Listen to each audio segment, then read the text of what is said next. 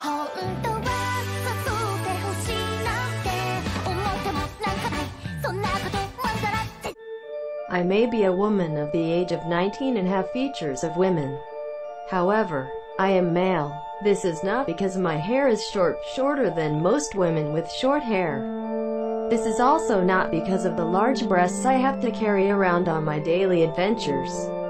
This is because I have a penis.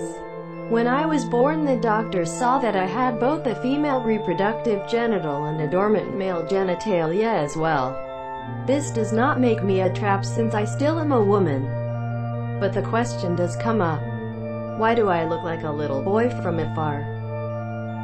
This could be a byproduct of the male genitalia I have obtained from the heavens above. I am not a little boy. I am not.